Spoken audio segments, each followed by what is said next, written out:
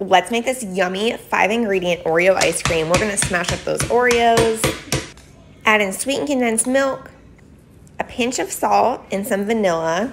Stir this up. Then we're gonna whip up some heavy cream. Fold this into our sweetened condensed milk mixture. Add in those Oreos. We're gonna freeze this overnight in our ice cream container. This one is so good.